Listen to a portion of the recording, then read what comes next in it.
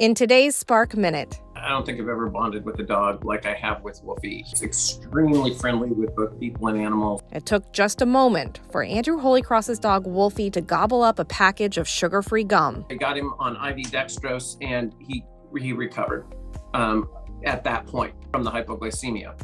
But within it was less than 38 hours and he had he succumbed to uh, the hepatotoxicity. One of the things with xylitol that can be hard, you know, it's not really enough just to ask about foods that the, the pet may have gotten into, but really having to ask about anything that the pet may have gotten into. A new law being considered would enforce clear labeling on all products containing xylitol.